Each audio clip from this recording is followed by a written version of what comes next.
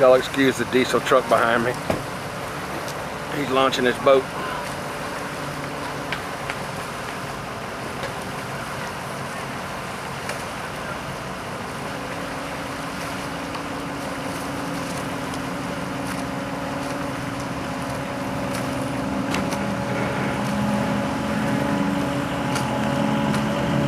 Holy shit.